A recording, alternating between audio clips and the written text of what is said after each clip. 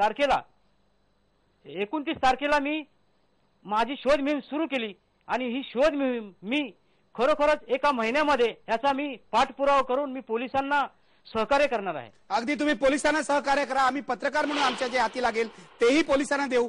आणि माझं या व्यासपीठावरून आयबीएल लोकमतच्या आज व्यासपीठावरून गृहमंत्री आर आर पाटील यांना आवाहन आहे की ही फाईल कोणी पळवली कोणी आणून टाकली चार पानं कुठे गेली हे सगळं आपण शोधून काढूया. महाराष्ट्राच्या जनतेला हे आव्हान दिलेलं आहे. बेंजामिन आणि बेंजामिन हे आय एस अधिकारी आहेत त्यांनी आव्हान दिलेलं आहे. आम्हाला माहीत नाही.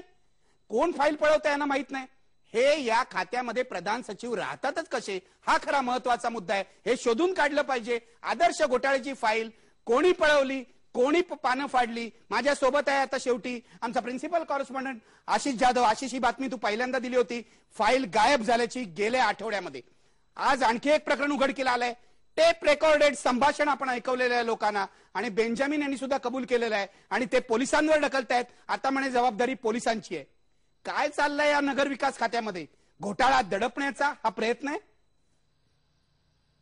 अगदी बरोबर आहे. बेंजामिनच नाही तर बेंजामिन सकट मंत्रालयातले जे मोठे अधिकारी आहेत ज्यांचा कधी ना कधी या घोटाळ्याशी संबंध आलेला आहे या सर्व अधिकाऱ्यांचे धाबे आणलेले आहेत. गेल्या दोन तीन दिवसामध्ये मला जितके आय एस ऑफिसरचे फोन आले तितके यापूर्वी कधीही आले नाही. बेंजामिन यांचा फोन अजूनही माझ्या मोबाईलवरती वाचतो आहे.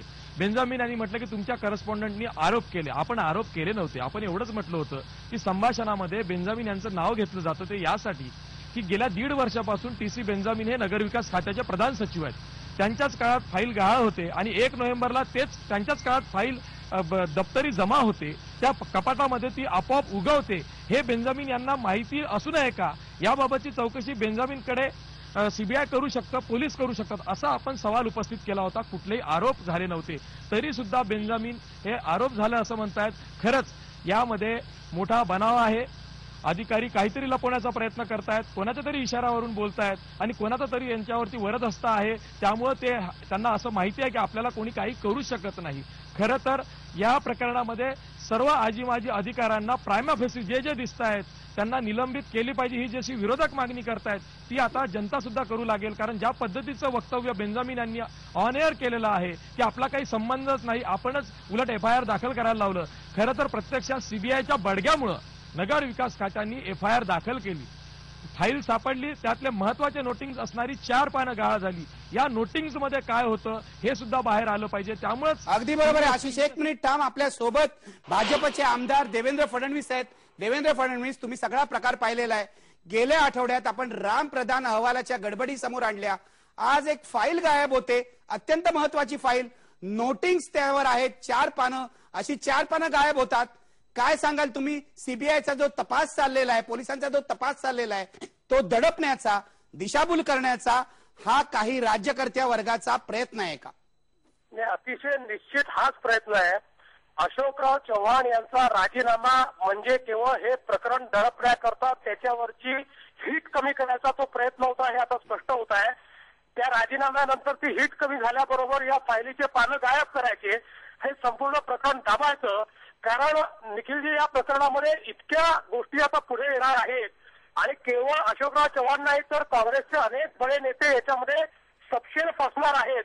आणि याच्यामध्ये अजून तुमच्याकडनं काही गप्पस्फोट होणार आहेत काही आमच्याकडनं देखील होणार आहेत निखिलजी? काही माहिती आम्ही देखील या ठिकाणी गोळा केलेली आहे आणि आम्हाला देखील असं लक्षात आलेलं आहे की पूर्णपणे नियमबाह्य अशा प्रकारचं काम या ठिकाणी झालेलं आहे. आणि आता हे नियमबाह्य काम लपवण्याकरता कागदांची पळवा पळवी अशा प्रकारचा सगळा प्रकार चाललेला आहे. मला असं वाटतं की जोपर्यंत या सगळ्या सनदी अधिकाऱ्यांना सस्पेंड केलं जात नाही जोपर्यंत त्यांच्यावर कारवाई केली जात नाही तोपर्यंत हा प्रकार थांबणार नाही. देवेंद्र फडणवीस मला शेवटचा प्रश्न तुम्हाला विचारायचा आहे. विधिमंडळाचं सेशन चालू आहे. आता हे भयंकर प्रकरण समोर आलेलं आहे.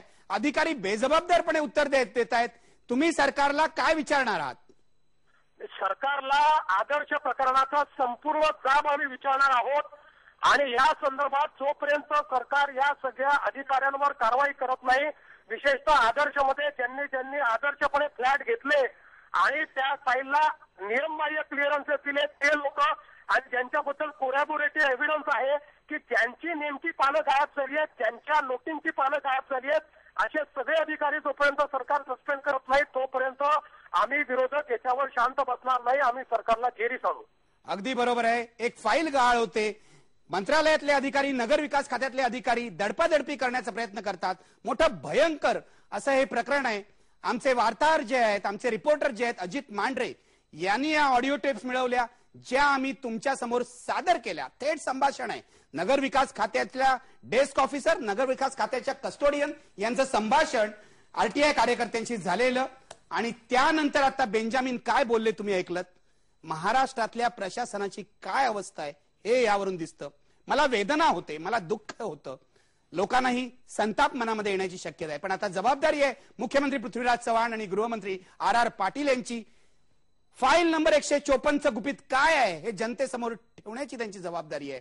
आम्ही पारदर्शी कारभार करणार आहोत असं आश्वासन मुख्यमंत्र्यांनी दिलंय. आता मुख्यमंत्र्यांकडून अपेक्षा आहे चार पानं गायब कुणी केली त्यामध्ये काय होतं हे सांगण्याची. प्राईम टाइममध्ये मी आता एक ब्रेक घेणार आहे आणि ब्रेक नंतर तुम्हाला पुन्हा भेटणार.